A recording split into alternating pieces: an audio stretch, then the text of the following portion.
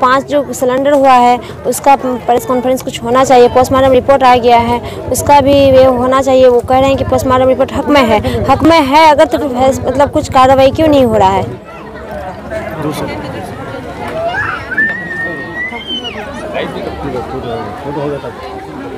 चालीस दिन हो गए सर धरने पर बैठे हुए हैं आप लोग समर्थन में आए हुए हैं क्या पूरा मामला और क्या अभी तक आश्वासन मिला बहुत अफसोस की बात है कि आज 40 दिन हो जो एसआई टीम गठित किया गया था उस एसआई टीम ने अब तक खुलासा भी नहीं किया कि पोस्टमार्टम या में कैसे क्या हुआ ना केस क्या हुआ कौन आरोपी है क्या है वो अब तक नहीं कर पाया। मजबूरन आज हम लोगों को एक दिन का धरना था। ब्लॉक मुख्यालय में आज हम लोग धरना में बैठे थे। अच्छा क्या मांग कर रहे हैं? हम पुलिस प्रशासन से मांग कर रहे हैं और हमारे यहाँ के चारों विधायक से और हमारे यहाँ के जो पार्टी के जो सांसद हैं, जो सरकार की पार्टी के सांसद हैं, उनसे मेरी मांग है कि मिनाज और शकील भाई के कातिल को जल्द से जल्द सज़ा मिले और जो एक आरोपी अभी बताया जा रहा है कि वो अब फिरार है, उनको जल्द से जल्द अरेस्ट किया जाए और जल्द से जल्द एक फास्ट कोर्ट चला के इन लोगों को जल्द से जल्द सज़ा दिया, दिलाया जाए।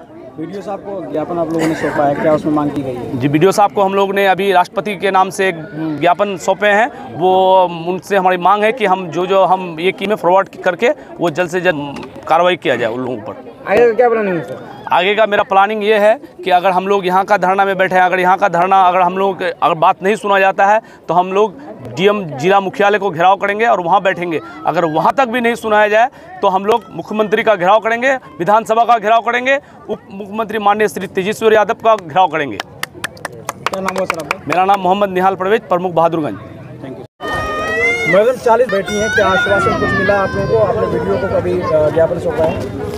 जी, आज तो धरना में जो हम लोग बैठे तो कुछ आश्वासन नहीं मिला, कोई पदाधिकारी नहीं आए, कोई नेता कुछ भी नहीं आया, कोई प्रशासन किसी की तरफ़ से, किस, कहीं से भी कुछ आश्वासन नहीं मिला आज।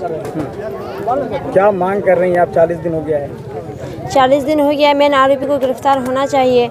और वो पाँच जो सिलेंडर हुआ है उसका प्रेस कॉन्फ्रेंस कुछ होना चाहिए पोस्टमार्टम रिपोर्ट आ गया है उसका भी ये होना चाहिए। वो कह रहे हैं कि पोस्टमार्टम रिपोर्ट हक में है। हक में है अगर तो मतलब कुछ कार्रवाई क्यों नहीं हो रहा है? हक में है या ना हक में है वो तो होना चाहिए उनको खुलासा करना चाहिए। एसआईटी गठन हुआ है कुछ खुलासा नहीं हो रहा है। प्रशासन कुछ ध्यान नहीं दे रहे मेरे मामले को दबाना चाह रहे हैं सब कोई मिलके। कौन दबाना चाहते हैं? नेता प्रशासन सबको ही मिलके। मुझे आज इस धरना से मुझे लग रहा है अभी से मुझे लग रहा है कोई नेता जब यहाँ नहीं आए हैं सब कोई बोल रहे थे कि तुम्हारा खुल के साथ देंगे तुम्हारा साथ है।